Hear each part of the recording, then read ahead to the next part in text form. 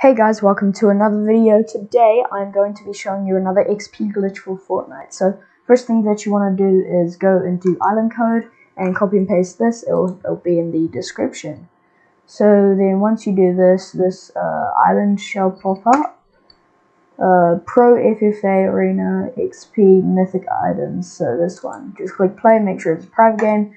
Click play. And by the way guys, this um, was like I got shown this by Zak Bye. His channel will be in the description. He, uh, thank you, Zak, for showing me this to show the viewers on this XP glitch. So when you are loaded in, uh, you should just need to wait about 90 seconds, I think it is, to then go into the game. So I will see you when it's about 10 seconds to go. Okay guys, so it's got uh, 7 seconds left and then we will show you how to do the glitch. So yeah, it's pretty cool actually. Uh, so once again, thank you Zak Bye for showing me how to do this glitch. Okay, so once you're in, uh, just teleport to store. Oh, daily reward, nice. I thought I already did the thing. So the other glitch was uh, when you jump here and up and you found the reward. But I think that doesn't work. Oh wait, no it does. So you can do this.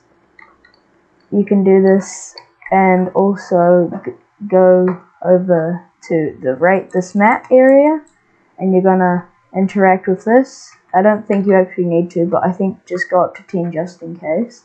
So when you're already getting XP, you jump from here over to here, and then over to this little area there. And you should be able to stand in it. Then start emoting. And then you start to get more.